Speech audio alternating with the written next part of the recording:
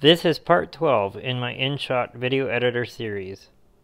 Do you want to use your own photos as stickers and create frames like this? Or this? I can show you how.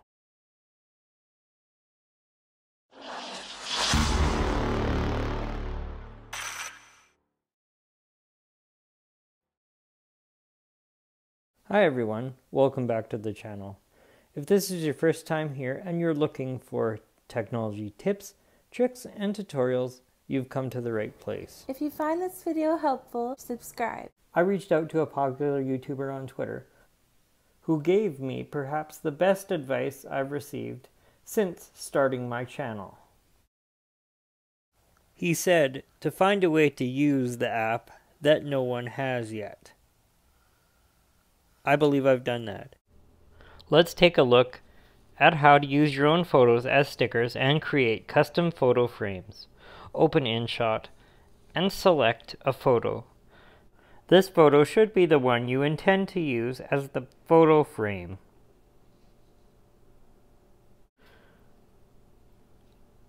When the photo loads, tap on Filters, select Effects, and then choose the blur effect. This will blur out the entire photo.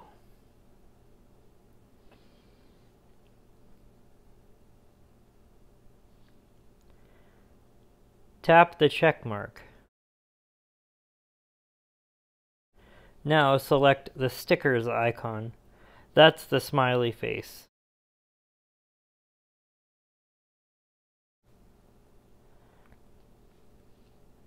Now tap on the little photo icon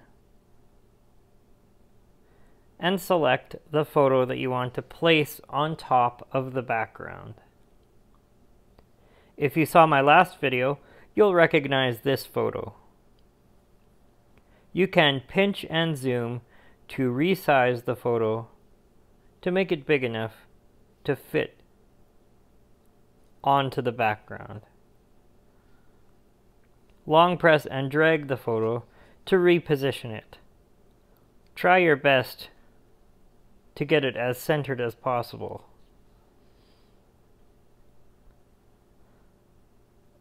When you're done resizing and positioning the photo, tap the check mark.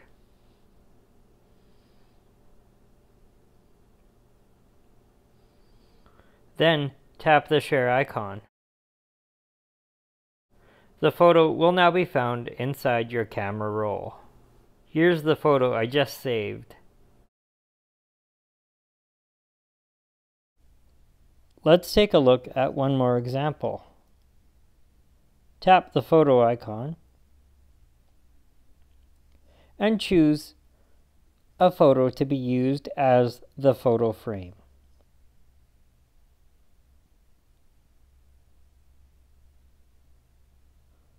This one looks good. Next, tap the filters icon.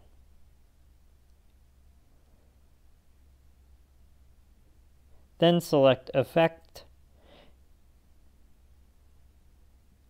and choose Blur.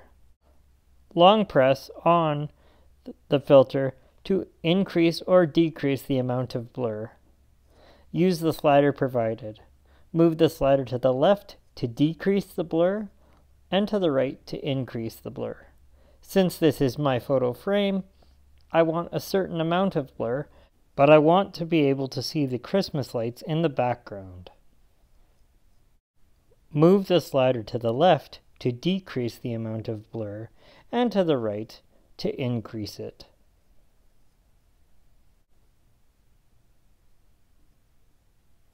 When you've got the amount of blur that you want, tap on the check mark.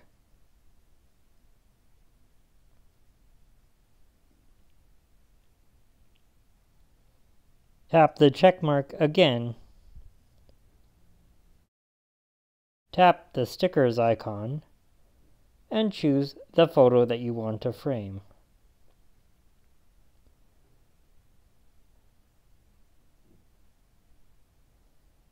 This photo will be placed on top of the background.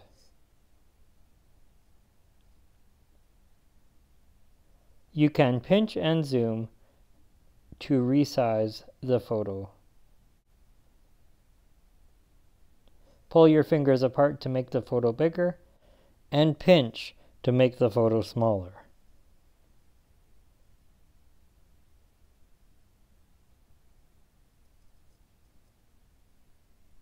When you've got the photo where you want it, tap the check mark.